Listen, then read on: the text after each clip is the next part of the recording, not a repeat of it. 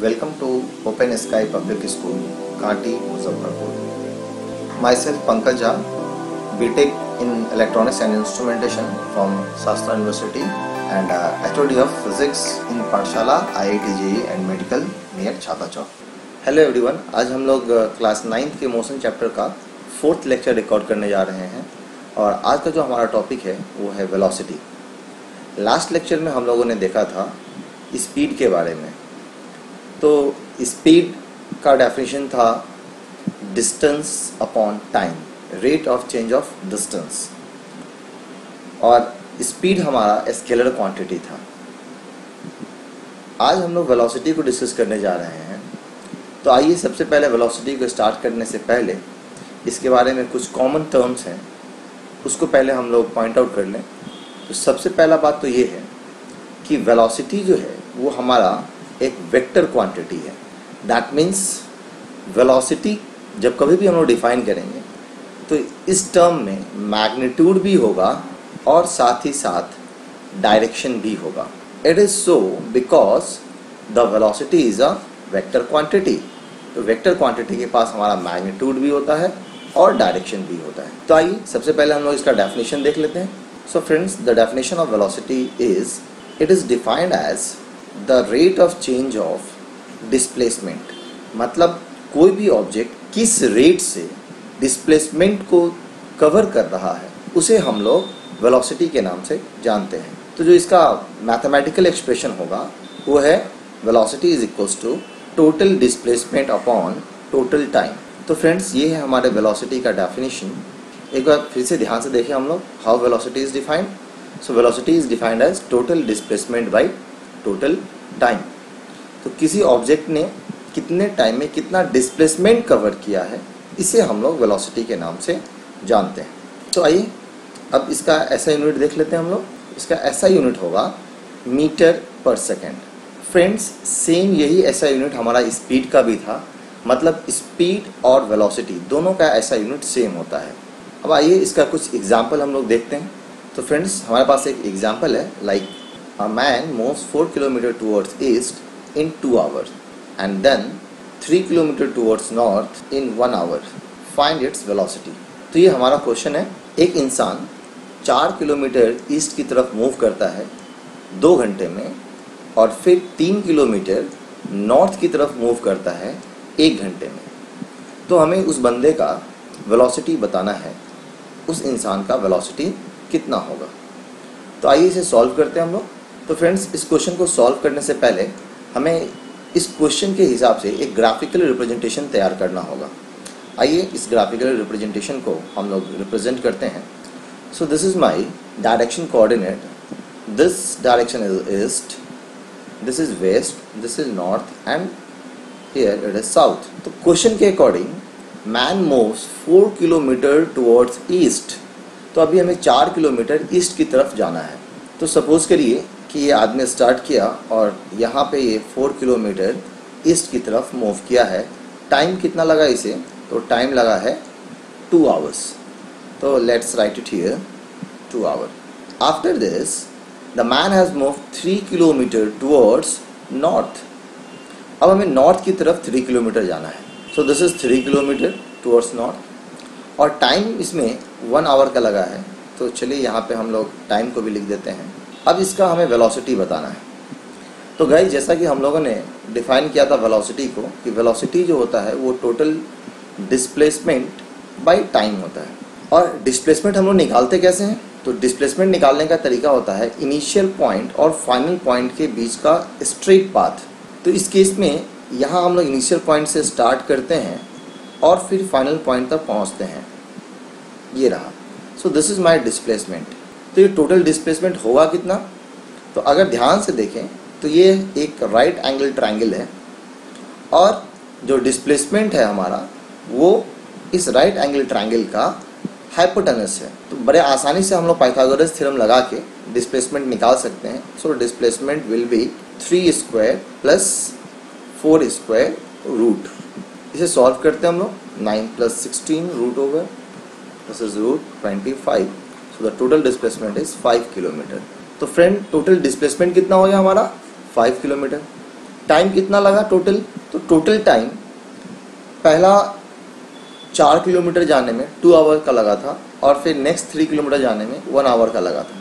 तो total time हो जाएगा हमारा two plus one that is three hour तो अब हम लोग अगर वेलोसिटी लिखें तो वेलोसिटी हो जाएगा हमारा डिस्प्लेसमेंट फाइव किलोमीटर और time three hour so this is 5 upon 3 kilometer per hour हम लोग इसको डेसिमल में भी बदल सकते हैं। फ़िलहाल हम लोग इसे ऐसे ही रहने देते हैं फ्रैक्शन में ही।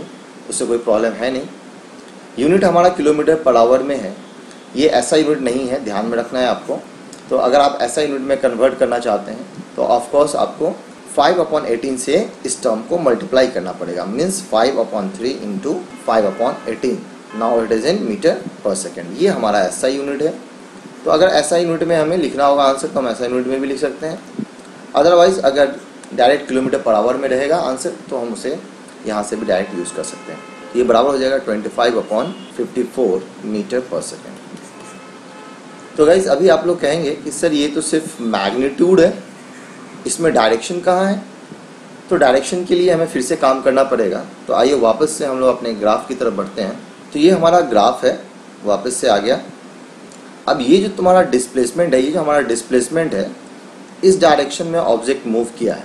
ये कितने डिग्री का एंगल बना रहा है, ये हमें बताएगा कि इस वेलोसिटी का डायरेक्शन क्या था। तो ये थीटा हमें मेज़र करना होगा। तो ये जो थीटा है, ये थीटा हमारा ट्रिग्नोमेट्री के हेल्प से निकलेगा और थीटा निकालने के लिए हम लोग को लिखना होगा tan theta is equals to perpendicular upon base perpendicular यहाँ पे कितना है? तो परपेंडिकुलर ये थ्री किलोमीटर है। और बेस हमारा फोर किलोमीटर है। तो थ्री अपॉन फोर फ्रेंड्स हो सकता है कि आप लोगों को tan theta three by four का वैल्यू पता नहीं होगा कि थीटा का वैल्यू क्या होगा इस केस में। तो मैं बता दूँ आपको कि टैन थीटा अगर थ्री बाई फोर है तो थीटा का वैल्यू थर्टी सेवन डिग्री होता है। ये आपको मैथ में टिग्रोमेट्री में बताया जाएगा।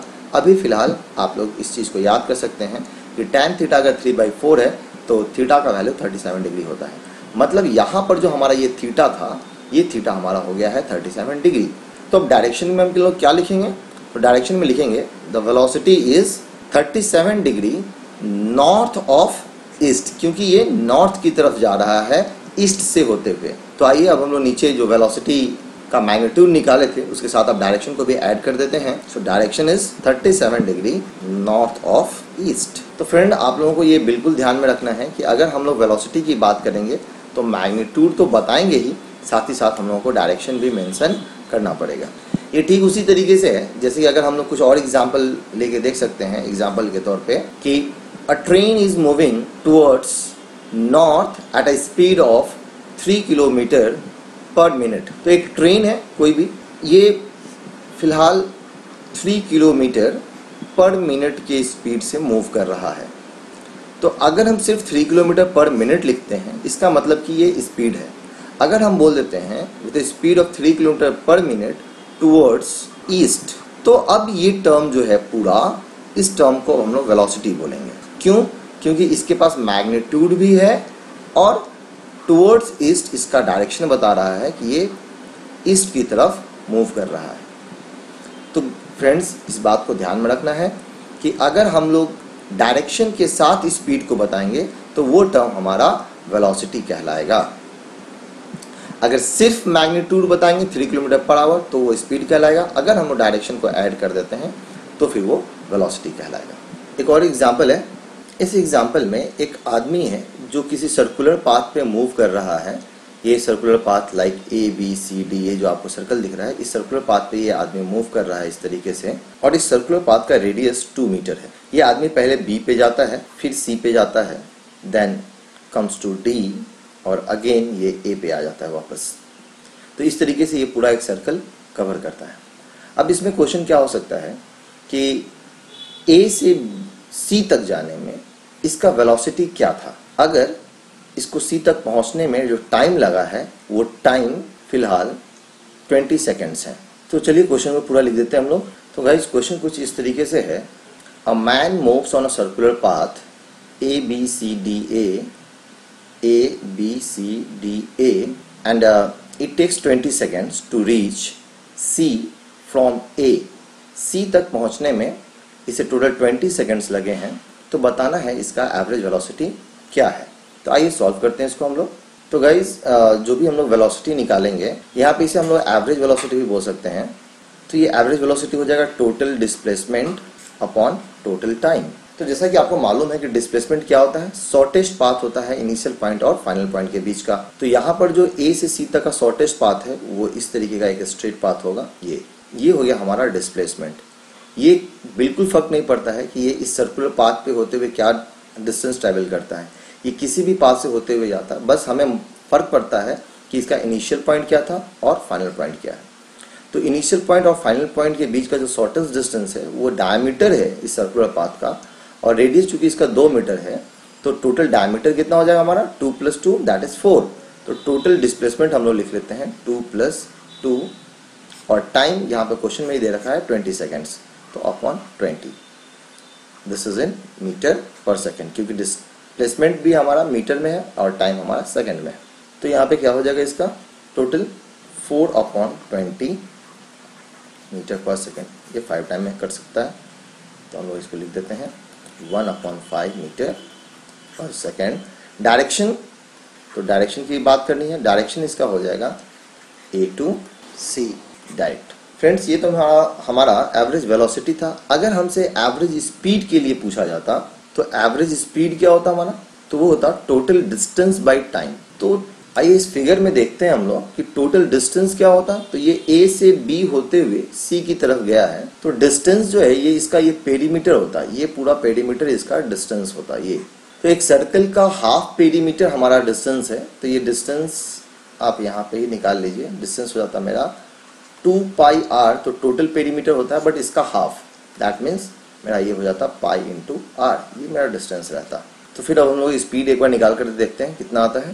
तो ये हो जाता हमारा pi into r upon time तो वही लगा ट्वेंटी सेकेंड तो पाई का वैल्यू हम लोग थ्री पॉइंट वन फोर ले लेते हैं। रेडियस हमारा टू था और टाइम ट्वेंटी सेकेंड्स तो ये टेन टाइम्स में गया। तो ये हो जाएगा मेरा zero point three one four metre per second तो गाइज़ देखिए स्पीड हमारा कितना है यहाँ पे? Zero point three one four metre per second और वेलोसिटी कितना आया था?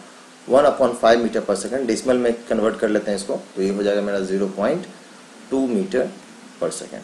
तो फ्रेंड्स आदमी का इनिशियल और फाइनल पोजीशन वही है, लेकिन वेलोसिटी जब हम लोग कैलकुलेट करते हैं तो वैल्यू कुछ और आता है, और स्पीड जब कैलकुलेट करते हैं तो वैल्यू कुछ और आता है।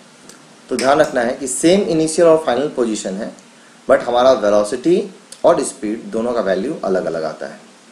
क्यों? क्योंकि वेलोसिटी के लिए हमें टोटल डिस्प्लेसमेंट लेना होता है और स्पीड के लिए हमें टोटल डिस्टेंस लेना होता है। तो ये बेसिक डिफरेंस है हमारा एक एवरेज uh, वेलोसिटी में और एवरेज स्पीड में। और डिस्प्लेसमेंट और डिस्टेंस का बेसिक डिफरेंस आप लोगों को पहले से पता है। आइए अब एक मैथमेटिकल एक्सप्रेशन है वेलोसिटी का वो भी हम लोग लिख लेते हैं। तो अब हम लोग डिफाइन करने जा रहे हैं एवरेज वेलोसिटी तो एवरेज वेलोसिटी है हमारा total displacement upon total time actually इससे पहले भी जो हम लोग डिफाइन किए थे, वो एवरेज वेलोसिटी ही था। बस उसका नाम हम लोग सिंपली वेलोसिटी बोल रहे थे बट जो हम लोग डिस्कस कर रहे थे, वो एवरेज वेलोसिटी ही था। तो मैथमेटिकली से लिखते हैं V average is equals to S two minus S one upon T two minus T one guys अब थोड़ा सा इसमें आप लोगों को कुछ हम अलग बताएँगे। जो कि जनरल नाइन्थ के बुक में नहीं मिलेगा आपको वो ये कि अगर वेलोसिटी मेरा एक वेक्टर क्वांटिटी है तो इसके ऊपर ये एरो लगाना ज़रूरी है। ये एरो बताता है कि ये क्वांटिटी वेक्टर है। तो वेलोसिटी वेक्टर क्वांटिटी है इसलिए इसके ऊपर एरो आ गया। इस, इसी तरीके से डिस्प्लेसमेंट भी वेक्टर क्वांटिटी है तो इसके ऊपर भी एरो साइन आना चाहिए। तो ये जो एरो है वेलोसिटी के ऊपर और डिस्प्लेसमेंट के ऊपर ये बता रहा है कि ये दोनों क्वांटिटी आपस में वेक्टर क्वांटिटी है। ये बहुत इंपॉर्टेंट है। अगर आप इसको याद रखते हैं तो बहुत अच्छी बात है। अगर आप थोड़ा सीनियर लेवल पे जाएँगे तो इस वेलोसिटी को ऐसे भी लिखा जाता है, v equals to average of course average velocity equals to delta s upon delta time time हमारा स्केलर क्वांटिटी है, इसलिए इस पर कोई भी हम लोग वेक्टर साइन नहीं लगाते हैं मतलब एरो नहीं लगाते हैं। अगर आप लोग वेलोसिटी को इस तरीके से रिप्रेजेंट करते हैं फाइनली तो ये आपके लिए बहुत ही अच्छा माना जाएगा। फ्रेंड्स यहाँ पे कई बार पूछते हैं कि ये सर डेल्टा वर्ड क्या है? तो सर डेल्टा का मीनिंग होता है, इसे हम लोग पढ़ते डेल्टा है, और इसका मीनिंग होता है चेंज तो डेल्टा एस का मतलब क्या हो गया? चेंज इन डिस्प्लेसमेंट और डेल्टा टी का मतलब क्या हो गया? चेंज इन टाइम तो ये था हमारा एवरेज वेलोसिटी तो फ्रेंड्स मुझे लग रहा है कि आप लोगों को एवरेज स्पीड और एवरेज वेलोसिटी ज़रूर समझ में आ गया होगा। तो आज हम लोग अपना लेक्चर को यहीं पे समाप्त करते हैं और अगले लेक्चर में हम लोग टाइप्स ऑफ़ मोशन पढ़ेंगे, जिसमें एक होगा यूनिफॉर्म मोशन और दूसरा होगा नॉन यूनिफॉर्म मोशन उसको आगे डिस्कस करेंगे और फिर ये डिस्कस करेंगे कि नॉन यूनिफॉर्म मोशन में एक एग्ज़ाम्पल है एक्सेलरेटेड मोशन और समझेंगे कि एक्सेलरेटेड मोशन क्या होता है। तो आज के लिए इतना ही। Thank you thank you very much